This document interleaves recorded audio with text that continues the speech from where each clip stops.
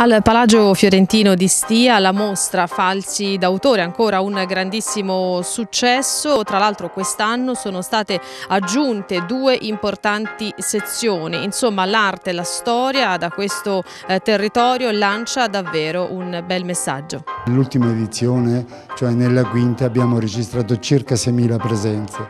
Quest'anno abbiamo voluto aggiungere ai falsi d'autore altre iniziative, tutto questo al fronte di incuriosire sempre di più il pubblico per, fare, per cercare di aumentare già il numeroso pubblico attuale e sono le eccellenze del Casentino, le 10 migliori aziende del Casentino, abbiamo invitato un'azienda di Sinalunga che fa il, riproduce le macchine di Leonardo che è una cosa fantastica.